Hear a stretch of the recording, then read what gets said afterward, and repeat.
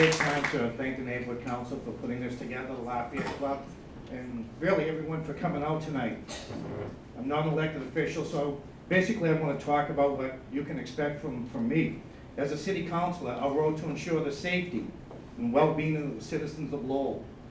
I'll have the courage in these tough economic times to invest in the Lowell Police Department, ensure the department is properly staffed, officers properly trained and equipped to allow the department to realize its potential and to meet the demands of today's society and its unique problems.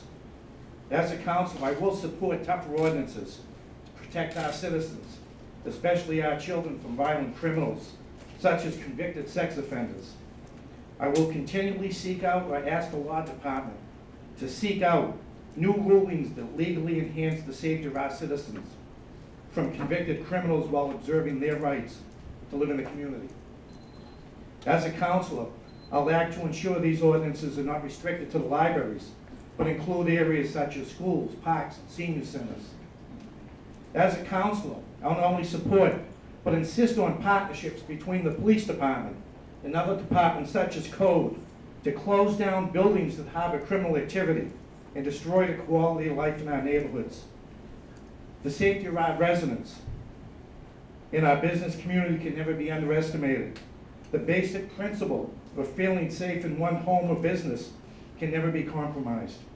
I'll support ordinances that place legal curfews on young offenders of violent crime.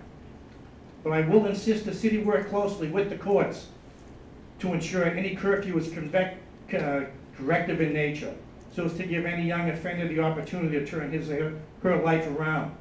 I'll support programs that partner local police, schools, state agencies such as courts and DYS to help identify and monitor at-risk youth before they commit an offense. And I'll continue to support the efforts of the Lowell Police, the neighborhood groups to enhance the quality of life in the neighborhoods. Thank you. I want to thank everyone for attending tonight. I want to wish Stacy Hargis, who's here tonight, uh, happy birthday. There's Stacy.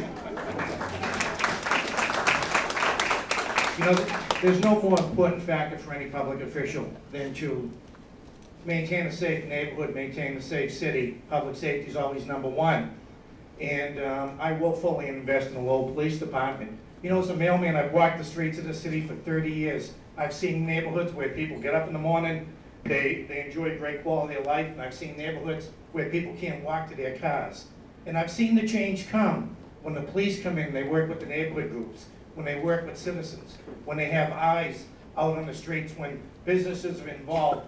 And that's one thing I hope to promote in this city, is cooperation between the police, the neighborhood groups, the citizens. Get them involved, get the businesses involved, clean up the city, and start making this a community and not just a city. Thank you.